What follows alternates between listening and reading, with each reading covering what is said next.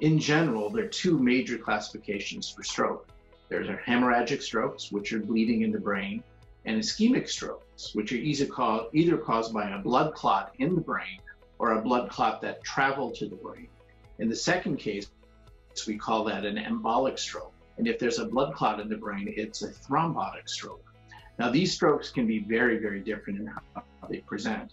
When people have hemorrhage, it can be a neurologic or neurosurgical emergency because the amount of bleeding and the amount of swelling can produce extensive damage in the brain and profound neurologic compromise. With embolic and thrombotic strokes, the presentation is not nearly as dire. It is a myth that all strokes are caused by high blood pressure, diabetes, and tobacco use. In fact, there are a lot of other issues that can cause stroke in both young adults and older adults. Estrogen can increase risk of stroke, just like tobacco can increase risk of stroke. In a very simple way, you can have a stroke because of problems with the blood vessels, them becoming too hard or becoming too weak and then rupturing, or because of problems with the blood, such as a hypercoagulable state or a change in the blood proteins that can predispose you to having a clot. Hemorrhagic strokes are independent of things like uh, high cholesterol or arteriosclerosis. Uh, and uh, in most cases, young people don't have years of exposure to tobacco or diabetes that will increase their risk of a thrombotic stroke. Hemorrhage, however, can be caused by high, having high blood pressure um, and also be caused by an abnormality of the blood vessels in the brain. Now, young people can develop these things even as children, and they won't manifest uh, until later in life. And it's been my experience that a lot of those cases happen in young adults or early middle age, as opposed to the elderly who typically have the strokes that we think about every day.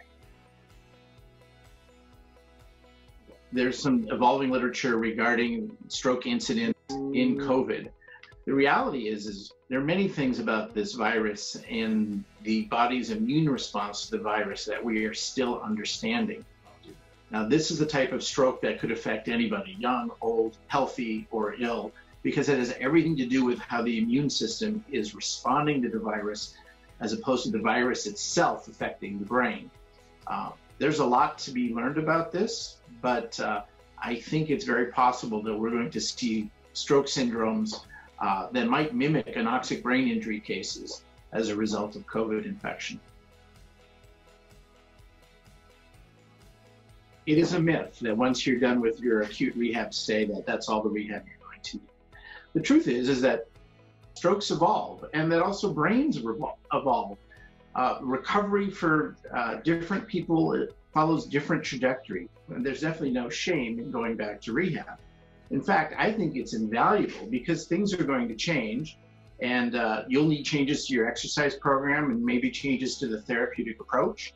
And there could be medication changes that become more salient as you recover. I know we've talked about a lot of scary things, and if you've had a stroke and you're exploring where you want to continue your journey to recovery, I just want to reassure you that the Center for Neuroskills is an extraordinary place.